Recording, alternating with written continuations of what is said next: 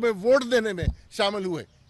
हम इन, उन, इन सारी बातों को देखकर हम इस इंसिडेंट को पूरी तौर पर कंडेम करते हैं। उन सारे लोगों को जिन्होंने इस शरपसंदी में हिस्सा लिया और हमारी दरख्वास्त है कि जो अरबाब इख्तियार हैं, पाकिस्तान आर्मी के भी और हकूमत के भी, वो इन ऐसे लोगों से सख्ती से निपटें ताकि आइंदा कोई ऐसा वाक़ ना हो। और पाकिस्तान एक बार फिर तरक्की पजीर हो, हमारी जगह इंटरनेशनल कम्युनिटी में बाइज़त जगह बने। और हम जो पाकिस्तान के लीडरशिप है, हम गोया पाकिस्तान के सफ़ीर हैं। हम जब बाहर जाते हैं, हम पाकिस्तान की, पाकिस्तान के लिए बोलते हैं। और हम चाहते हैं कि पाकिस्तान की इज़्ज़त और वक़ार जो मजरू हुआ है नौ मई को, वो दोबारा वापस लौटे। और ऐसे लोगों को सजा दी जाए ताकि किसी की ऐसा करने की हिम्मत ना हो। शुक्रिया।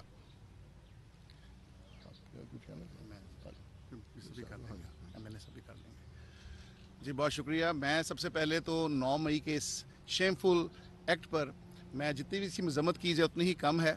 और आज ना सिर्फ़ मसीही हमारे सियासी काबरीन, बल्कि हमारी मजहबी लीडरशिप भी जहाँ पे कैथलिक डायसिस के हमारे आर्च बिशप भी हैं, हमारे चर्च ऑफ़ पाकिस्तान के बिशप हजरात भी हैं, और हमारे एम एन ए साहब भी हैं। मैं खुद सेनेट से यहाँ पर मौजूद हूँ, और हमारे दीगर क्लर्जी के मेम्बरान तो ये एक इजहार यकजहती भी है, और हम इजहार यकजहती पाक फ़ौज के साथ भी कर रहे हैं आज, और उन शहदा के ख़ानदानों के साथ भी कर रहे हैं।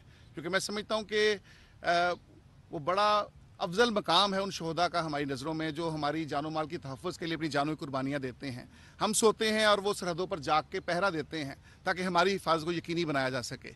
और इस एक्ट की जितनी भी शदीद अल्फाज में मजम्मत की जाए, उतनी ही कम है। हम पहले दिन से कर रहे हैं, हमने आज जना हाउस का विज़िट किया है, और हमने देखा है कि पाकिस्तान में, जैसे बिश साहब ने कहा कि हमारा कोई भी त्यौहार हो, हमारा कोई भी मजहबी कोई त्यौहार आता है, हम अपने घर बार परिवार बच्चों के लिए दुआ खैर बाद में करते हैं। पहले पाकिस्तान की सालमियत, बका और इसकामत के लिए दुआ खैर करते हैं। हम पाकिस्तान से प्यार करते हैं और पाकिस्तान के मशक़शुदा चेहरे को जो चंद शर पसंदों ने मसक कर रखा है।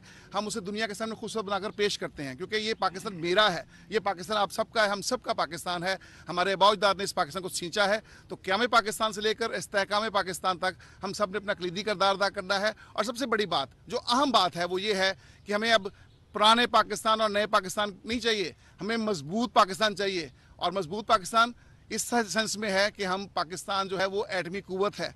और एटमी कुत हम समझते हैं कि वो मज़बूत हाथों में है और वो मज़बूत हाथ पाक आर्मी के हैं। हमने इन हाथों को मजीद मज़बूत करना है, अपने कौमी इदारों को मज़बूत करना है, ताकि पाकिस्तान दुनिया के नक्शे पर हमेशा ज़िंदा कौम बनकर उभरे। पाकिस्तान जिंदाबाद।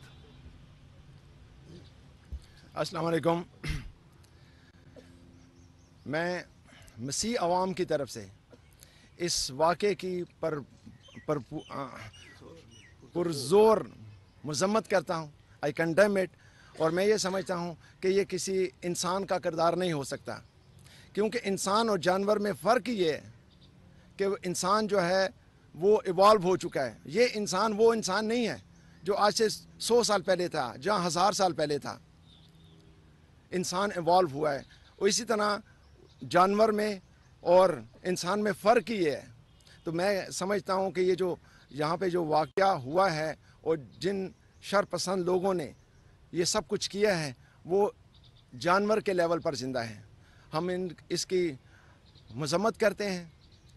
और मैं ये समझता हूँ कि दुश्मन ने पचहत्तर साल में वो काम नहीं किया। पचहत्तर साल में नहीं किया जो इन लोगों ने कर दिखाया है। ये हमारा मुल्क है, हमारे अफवाजदाद ने यहाँ पे अपना खून बहाया है। इसकी ज़मीन में उनका खून शामिल है।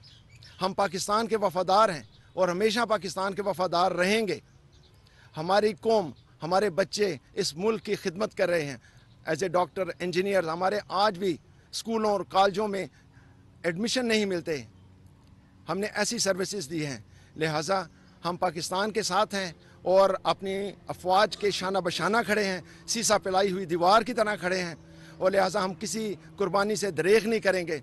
हम उन तमाम फैमिलीज़ को भी सलूट पेश करते हैं, अपनी अफवाज को सलूट पेश करते हैं, जिन्होंने पाकिस्तान के लिए कुर्बानियाँ दी।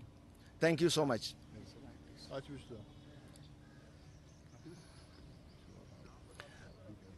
मैं arch bishop Sebastian Francis Shah हूँ आर्च डाइसिस ऑफ़ लाहौर से का बिशप हूँ, और आज हम सारे मसीही बिशप्स क्लर्जी और सियासी रहनुमा खसूसी तौर पर आज हम आए हैं ताकि ईद के बाद हम अपने तमाम पाकिस्तानियों के साथ यकजहती का इजहार करें।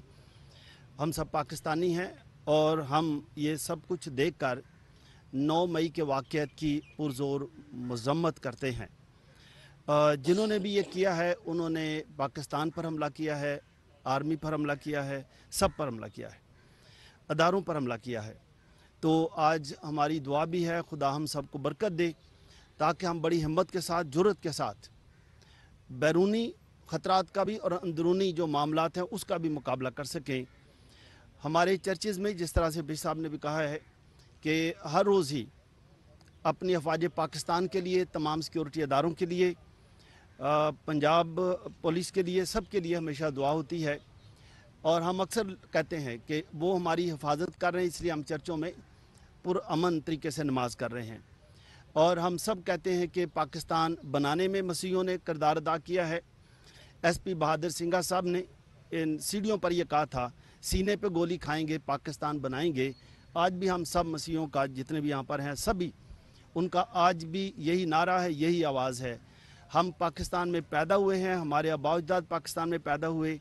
हम इसी सरजमीन के बेटे और बेटियाँ हैं, तमाम मसीही। तो हम भी यकीन दिलाते हैं कि हम अपनी अफवाज पाकिस्तान के साथ हैं, तमाम सिक्योरिटी इदारों के साथ हैं, पाकिस्तान को बनाने में, मज़बूत करने में, खुशहाली की तरफ़ ले जाने में हमारा अहम करदार है अपने स्कूलों के ज़रिए से हस्पतालों के ज़रिए से सोशल इदारों के ज़रिए से। मेरी दुआ है, खुदा हम सबको बरकत दे ताकि पाकिस्तान एज ए कौम और ज़्यादा मुतहद रहे, मिलकर तमाम साजिशों का मुकाबला करने के हम काबिल हों और पाकिस्तान को मज़बूत पाकिस्तान बनाएँ। खुशहाल पाकिस्तान बनाएँ, ताकि पाकिस्तान में रहने वाला हर शख्स इज़्ज़त और आबरू के साथ ज़िंदगी गुजारे और अपने पाकिस्तानी होने पर फ़ख्र महसूस करे। पाकिस्तान जिंदाबाद।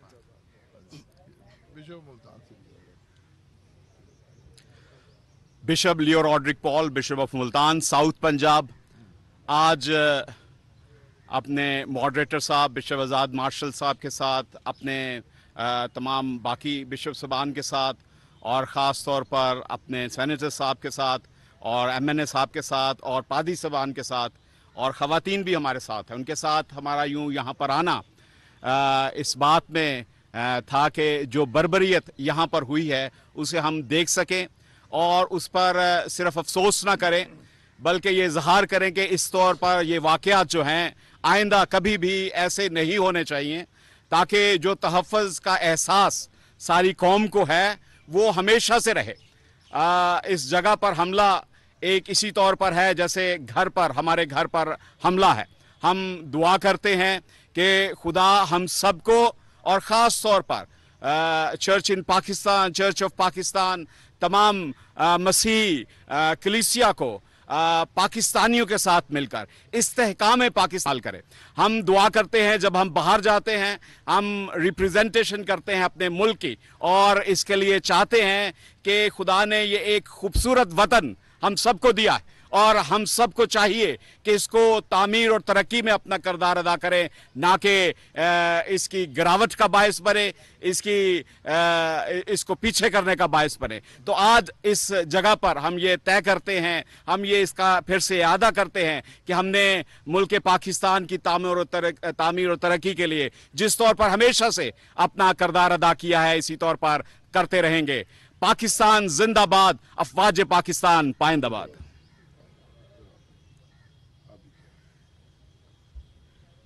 मैं बिशप अलीम अनवर फैसलाबाद डाइसिस। 9 मई के वाक़ की अपने तमाम बुज़ुर्ग बिशप साहबान के साथ, सियासी कायदीन के साथ, तमाम मसीही कौम के साथ मिलकर मजम्मत करता हूँ। दर हकीकत ये वाक़ जो 9 मई को वकू में आया, ये चंद शरपसंद अनासर, इंतहा पसंदों या शिद्दत पसंदों की वजह से वकू में आया है। और ये अनासर जिन्होंने ये वाक़ किया है, ये नुकसान किया है और पाक फ़ौज और पाकिस्तान की सालमियत को नुकसान पहुँचाया है। दर हकीकत ये इंसानियत के मैार से गिरे हुए हैं। और वो लोग जो इंसानियत के मैार से गिर जाते हैं, ना उनका कोई दीन होता है, ना कोई मज़हब होता है, ना कोई अकीदा होता है। ये काम जिन शरपसंद अनासर ने किया है, तमाम मसीही कौम उसकी मजम्मत करती है और मसीही कौम पाकिस्तान के इस्तकाम के लिए पाकिस्तान की बका के लिए और पाकिस्तान की सालमियत के लिए हमेशा दुआ